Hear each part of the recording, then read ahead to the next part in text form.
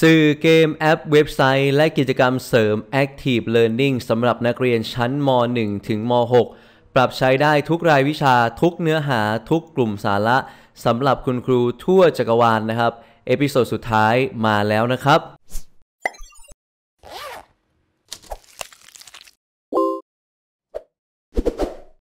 นำสื่อเกมกิจกรรมอันไหนไปใช้แล้วบ้างครับ คอมเมนต์มาแบ่งปันที่ล่างคลิปนี้ได้เลยนะครับผมสวีดัสสวัสดีครับ ยินดีต้อนรับทุกท่านเลย โดยเฉพาะคุณครู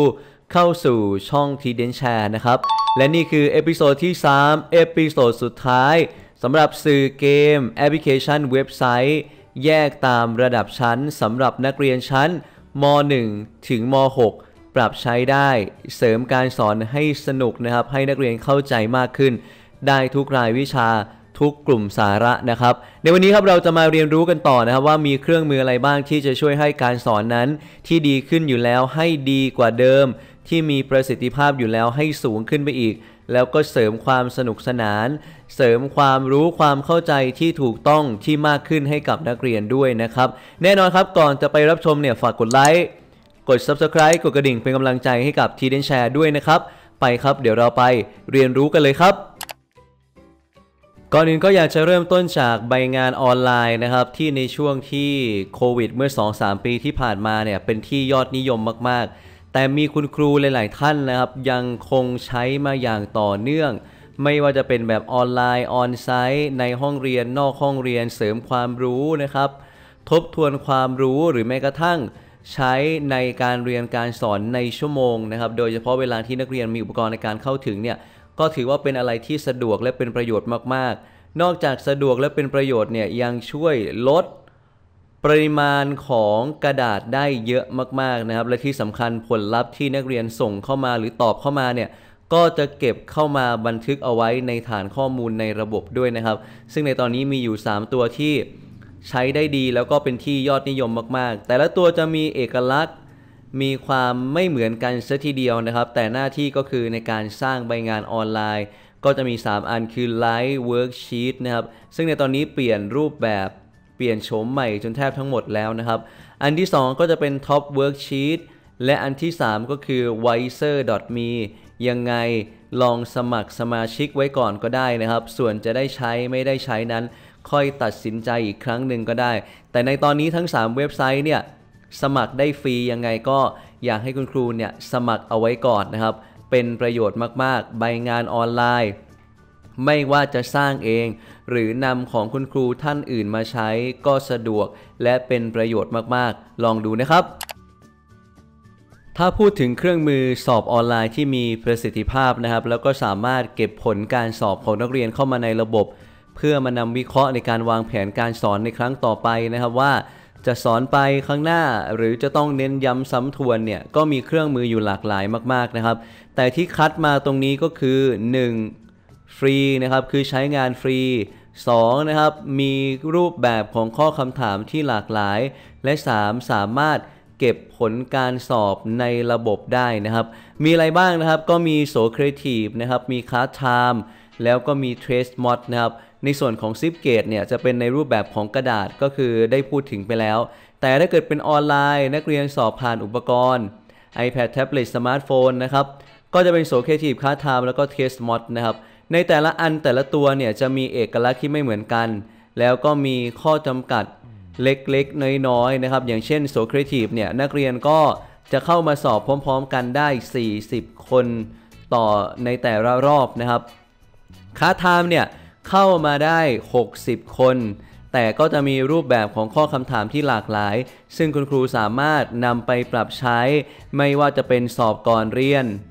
สอบหลังเรียน และที่สำคัญมากๆนะครับ และสามารถทำได้บ่อยๆ ก็คือ สอบระหว่างเรียนนะครับ และอย่างได้มีการเกริ่นนำไปแล้วว่าผลสอบเนี่ยสามารถนำมาปรับปรุงการสอน นำมาพัฒนาการสอน และนำมาวางแผนการสอนในครั้งต่อๆไป ในสัปดาห์ต่อไป และในเดือนต่อไปได้ด้วยนะครับ ถ้าเกิดคุณครูเห็นว่านักเรียนมีความรู้ความเข้าใจได้ดีแล้ว จากผลคะแนนสอบเนี่ยก็สามารถที่จะไปในเนื้อหาต่อไปได้อย่างมั่นใจ แต่ในขณะเดียวกันถ้าเกิดเห็นผลคะแนนสอบหรือค่าเฉลี่ยของความถูกต้องนะครับ อยู่ในระดับที่ต่ำมากๆ หรือไม่เป็นที่พอใจเนี่ยคุณครูก็จะได้นำผลจากตรงนั้นนะครับ ไปเน้นย้ำซ้ำทวนอีกหลาย ๆ รอบ เพื่อที่จะให้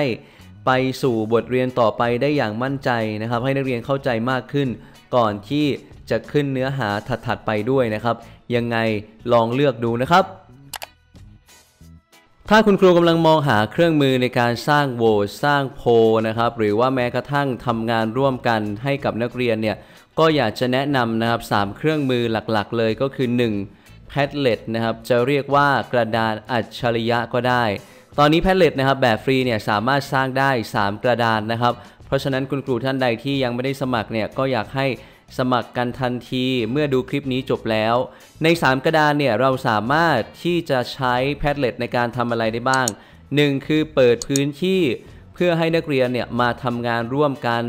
ระดมสมองแชร์ไอเดียนะครับ อันนี้ก็คือการทำงานร่วมกัน 2. นะครับคุณครูสามารถใช้เป็นแหล่งรวบรวม สิ่งดี ๆ นะครับ ไม่ว่าจะเป็นใบความรู้ แหล่งเรียนรู้เพิ่มเติม คลิปวิดีโออื่น ๆ รวบรวมแหล่งเรียนรู้ที่มีคุณภาพให้กับนักเรียน แล้วส่งกระดานแพดเล็ตอันเดียวนะครับ ผ่านลิงก์ไปแล้วก็ให้นักเรียนเนี่ยเข้ามาศึกษาเรียนรู้เพิ่มเติมได้เลยนะครับ อันนี้อย่างที่ 2ออย่างที่ 3 ก็คือ สร้างพื้นที่ในการสั่งงานแล้วก็ให้นักเรียนส่งงานได้เลย เช่นทำงานเสร็จแล้วถ่ายรูปส่งนะครับ นักเรียนไม่ต้องมี อีเมลในการเข้าระบบก็สามารถที่จะมาส่งงานได้ และความสามารถอื่นๆ อีกมากมายของ Padlet เนี่ยคุณครูก็สามารถไปสืบค้นเพิ่มเติมจาก YouTube ดูได้นะครับ เป็นอีกหนึ่งเครื่องมือที่ทีเดนแชร์เนี่ยใช้มาอย่างต่อเนื่องยาวนานถึง 7-8 ปีแล้วนะครับ เพราะฉะนั้นก็อยากจะแนะนำให้กับคุณครูทุกท่านเนี่ยได้ทดลองนำไปใช้มากๆนะครับ อีกอันนึงก็คือ Slido กับโพ EV นะครับ ตรงนี้เนี่ยก็จะไว้ ทำโหวตทำโพนะครับ เวลาที่นักเรียนตอบคำถามขึ้นไปแล้วนะครับผลลัพธ์เนี่ยก็จะไปแสดงที่หน้าจอแบบเรียลไทม์นะครับ ไม่ว่าจะเป็นแบบบทข่าวไม่ว่าจะเป็นแบบโพ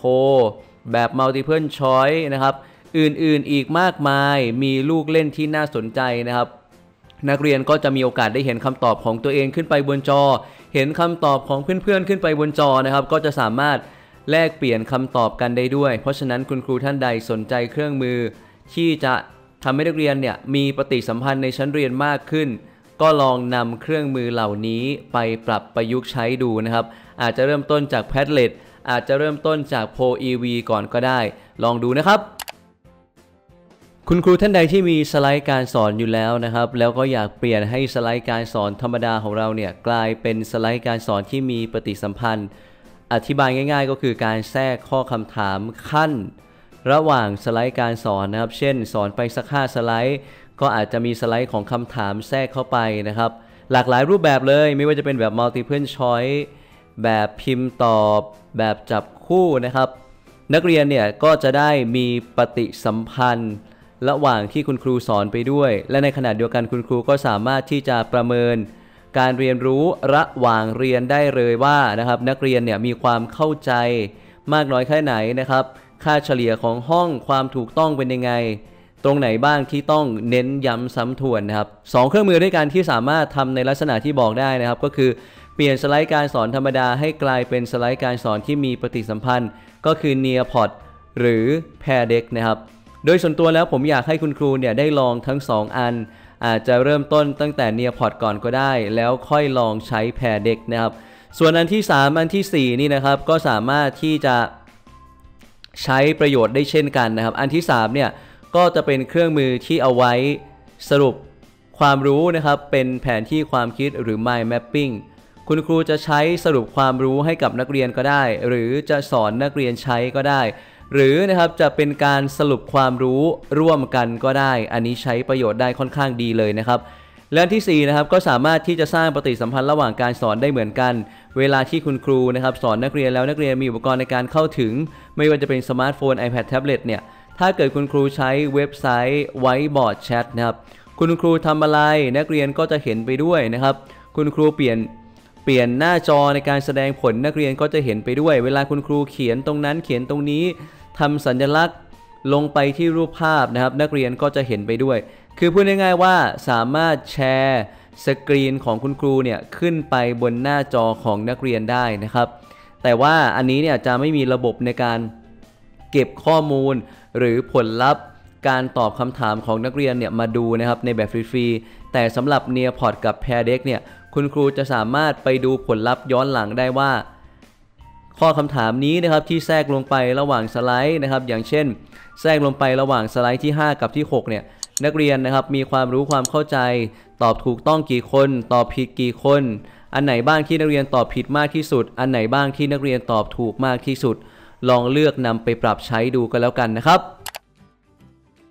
สุดท้ายก็แล้วกันนะครับ เป็นกิจกรรมเสริมหรือเป็นเทคนิคสนุกๆนะครับ ที่ช่วยสร้างบรรยากาศแบบ active learning จริง ๆ แล้วทุกท่านสามารถไปติดตามที่ playlist ในรายการที่ชื่อว่า Teacher Life สาระได้นะครับ แต่ตรงนี้เนี่ยเป็นกิจกรรมที่คัดมาให้แบบเน้นๆเนื้อๆใช้ได้จริงแล้วก็เป็นประโยชน์จริง ๆ รวมถึงสนุกสนานมาก ๆ ทั้งหมด 6 กิจกรรมด้วยกันนะครับ มีอะไรบ้างครับก็มีบิงโกมนุษย์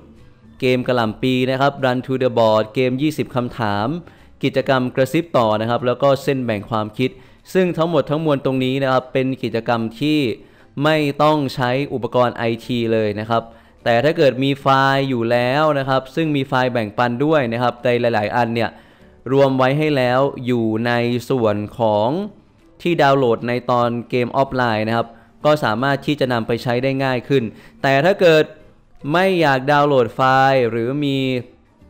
ข้อจำกัดของอุปกรณ์เนี่ยก็ใช้ในเรื่องของการเขียนที่กระดานไว้บอร์ดหรือว่ากระดานดำก็ได้นะครับ บางกิจกรรมนะครับ เช่นกระหล่ำปีเนี่ยก็แค่มีกระดาษ A4